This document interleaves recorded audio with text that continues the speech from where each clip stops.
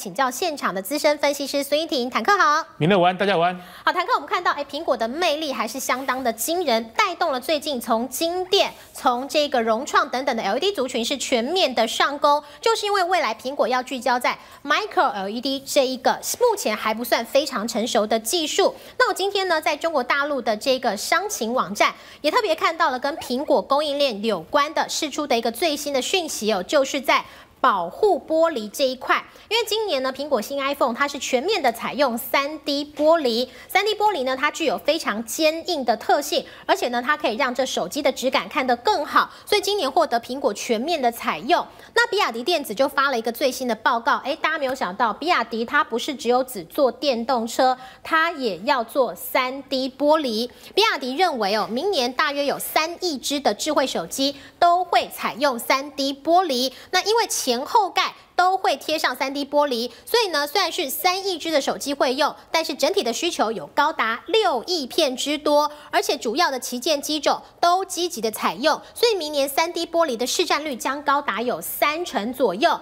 可是呢，这个产能做得出来吗？今年大陆厂商合计出货了一亿片的三 D 玻璃，明年呢要全力的扩产，预估可以出到一点六三亿片。可是我们看到明年的需求是多少？是六亿片哦。结果大陆厂商卯足全力在在增产，明年也只能做一点六三亿片。那苹果的三 D 玻璃的供应商蓝思科技，他们今年已经特别因应苹果的需求增加产量，今年全力的生产也只能做出五千万片的玻璃盖板。为什么没有办法快速的扩充呢？因为这个玻璃有需要呢，这个增加热弯机、抛光、上色等等的一个机台设备，它的制成难度、制成工艺是比较高的，研发费用跟模具开发成本也。也都是偏高，但是整个市场的需求普及率是在扩大的。今年呢，三 D 玻璃的一个渗透率有大概有百分之八到十五，可是市调机构预估到二零二零年，它的渗透率可以拉高到两成以上，甚至到五成以上。那到底为什么这个大陆的厂商都在积极扩产？我们来看下一页。那今年呢，蓝思科技就是因为它抢到了这苹果的三 D 玻璃的订单。我们看它七月以来的股价，可以说是呈现非常惊人的一个涨幅，从二十六点七块一路的涨到了四十点九元，涨幅高达有五成以上。前三季的财报也缴出了蛮亮丽的成绩单，每股盈余是零点三四元，一直呢到前天它的股价都还在大涨。所以呢，其他的厂商看到蓝思这么赚。大啃苹果跟三星的订单，所以大陆其他厂商也在跟进，要切入到三 D 玻璃了。我们来看大陆的这个其他的厂商呢，来我们来看下一页的部分，包含了贵州的新瑞安，他计划要投资六十四亿人民币来做三 D 玻璃加工厂。瑞声科技也要投资百亿人民币来做手机三 D 玻璃的项目，那包含了蓝思，泰在全力的扩产，甚至呢，刚刚发报告的比亚迪也在今年中宣布，它要投资十点五亿人民币来盖三 D 玻璃的生产线。所以这个商机呢，现在大陆有很多厂商都想尽办法要切入，要抢蓝思的版图。那为什么苹果跟三星他们都来采用这个三 D 玻璃呢？因为它有非常多的优点。现在其他的智慧手机，尤其是比较中低阶的。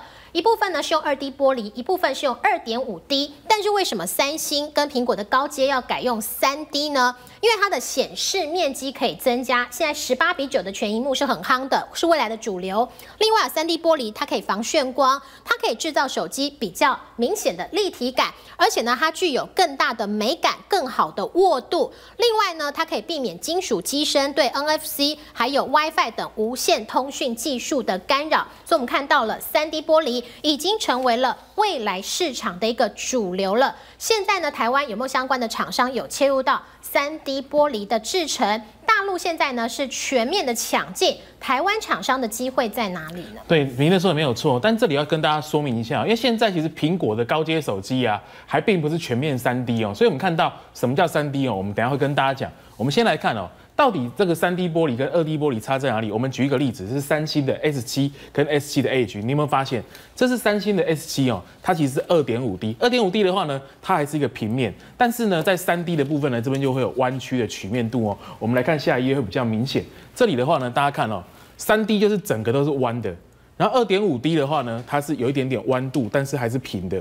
那二 D 的话，当然全平，不用说哦。所以这里呢，要做到弯呢，就必须要有热弯机的一些新的一些设备哦。所以从二 D 到三 D 的这个制程的演变来看，你会发现二 D 呢大概只有六个制程，大概就可以做出来。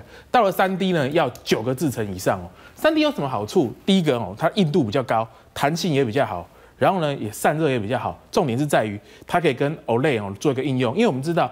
OLED 要好看，然后要整体要美感的话呢，其实三 D 的玻璃哦非常的重要。那搭上一些使用的舒适度跟视网膜，就是我们眼睛的配合的话，其实在这里的话有曲面的一幕，有时候会比这个平面全平面看起来哦来的更舒服。所以这里的话呢，三 D 的需求在增加哦。那么往下看，这里其实重点是在于哦，三 D 其实。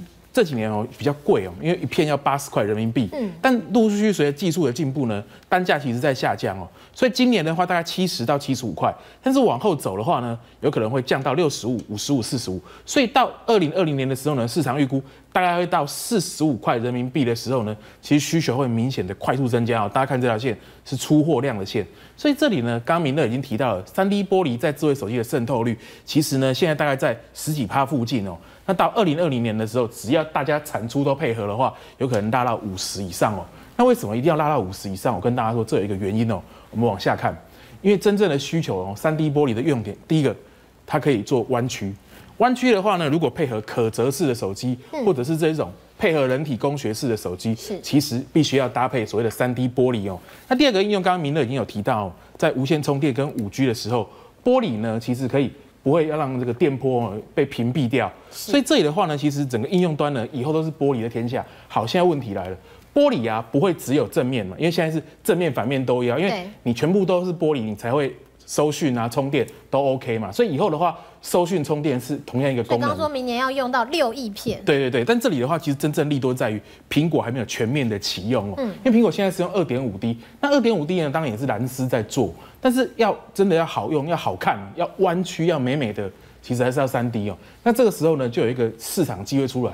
所以刚刚明乐为什么刚刚提到这么多公司，连瑞声，瑞声它原本是声学的公司，哎，它也要切入，它也要改，也要切，对，它改名字，瑞声就已经不叫 瑞声声学，已经改名叫瑞声科技。是。那像比亚迪的话也是一样，因为它要除了做汽车电子之外，也要做这个所谓的机壳哈，玻璃机壳。所以往下看，这么多人都要扩厂，那谁会先受惠？扩厂出来做出来要卖，这是后年的事情的。但明年谁会先受惠？当然是设备股啊。我们来看一档股票，叫大族激光，激光就是大陆所谓的镭射哦。那这里的话，其实我们来看，它其实在设备的部分，除了镭射设备之外，它也有三 D 玻璃的抛光扫光机哦。那另外有三 D 玻璃的检测设备。今年以来，从二十一块涨到多少？六十块？为什么？因为大家知道，苹果要扩厂，苹果要用不管是三 D 感测，苹果不管要用三 D 玻璃，全部都要先扩厂。那扩厂优先呢，当然是设备优先嘛。嗯。那台湾有没有机会呢？这大家想想最重要的，其实有。为什么？我们往下看，其实台湾有一间公司呢，它是设备的公司哦，半导体面板设备公司。但这里呢，我们往下看，你会发现二四六四的蒙利啊，是它在去年下半年就已经接获大陆玻璃机壳大厂。蓝思的订单就是米勒刚刚提到的那一间哦，蓝思科技对蓝思科技。那随着呢，蓝蓝思科技呢，在今年开始大量的这个要扩厂要出货，其实相关的这个需设备需求也会增加哦。那这是公司的网站，我们来看了，你把它点进去，你就会看到这有一个三 D 曲面玻璃的制造方案的解决技术，因为它有一个面板的一个成型机哦，就这一台。那这部分呢，重点就是把玻璃的部分呢做一个弯曲的，因为我们知道啊，玻璃是平的，你要做到弯曲要很好的技术。不能裂，不能断，所以这里的话呢，蒙利哦打入这个蓝丝的技术是非常领先的。所以这里的话呢，其实在明年的话，整个蒙利有没有机会从低档这个整个因为三 D 玻璃的需求而翻身哦，值得大家做进一步的关注。